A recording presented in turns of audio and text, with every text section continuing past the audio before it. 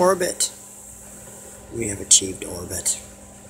All right, this is a new one. It was took the turntable, the turntable, and uh, we put a piece of t-shirt cloth on the on the colander, and we got the marble in the middle, and it's detenting the cloth, and we got a little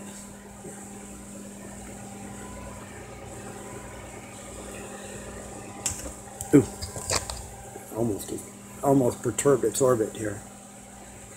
We're going to perturb it anyway, just for fun here.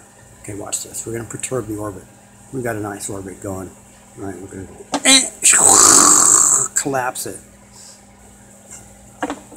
All right, now we're going to try to make a new, establish another new orbit. Here we go. Let's get our get our black hole centered, pretty much reasonably centered. Okay, we got our black hole centered, and we're going to just shove that in there. Ooh, oh, see, it lasted for a second, then it collapsed. Retrieve it. Okay. See, the thing is, it's because it's stretching it outward, unlike actual gravity, which which warps things inward towards the center of mass.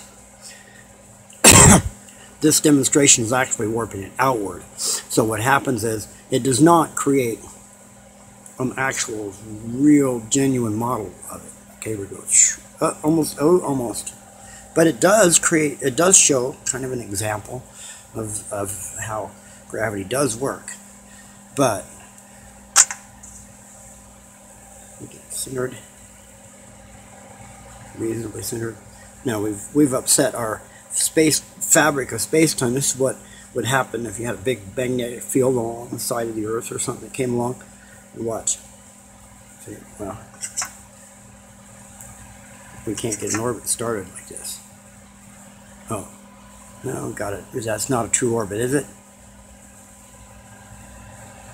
Let's try. Stop it in its tracks. See if it collapses. Oh, it collapsed. See, that was a genuine orbit.